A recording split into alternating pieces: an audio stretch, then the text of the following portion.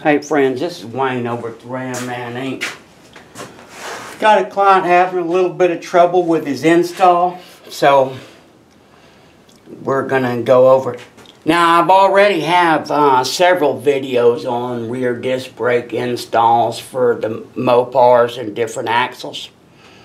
We offer more rear disc brakes for more Mopar axles than anybody else in the world. And we are the only ones that offer a rear disc kit that will fit underneath the 14 inch wheels.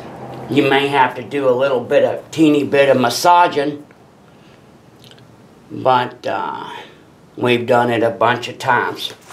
Customer's installing his and he's talking about how things won't line up. Now, we do a lot of different Mopar axles. It's the only ones we do. And uh, I can tell from looking at the picture that he's got the shaved rotors. So I don't know who this gentleman is or what car it is. But I can figure out a couple of things because uh, I've done this once or twice.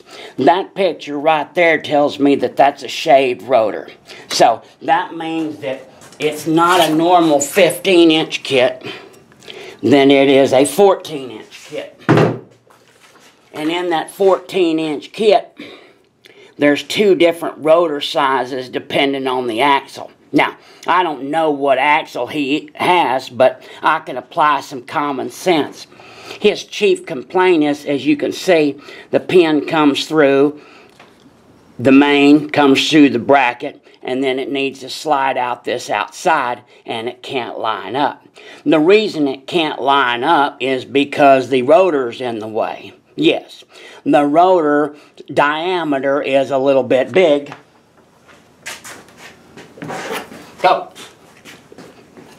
the pin is cocked.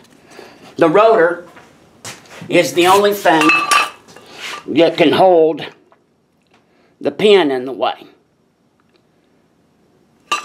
So,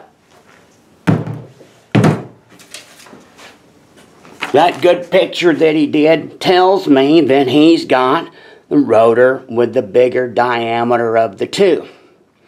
And with the slightly smaller diameter rotor, of course, the pin will go right in. It's hitting. So, very simple solution that requires special pads that are cut and maybe a little bit of tweaking. Now, I'm going to say again, there is nobody on this planet other than us that offer a 14 inch wheel rear disc kit. Zero, none, nada. God bless you. God bless America. And there's been hundreds of people that have done it. So it looks like we made a little mistake. God bless you. God bless America. Bye.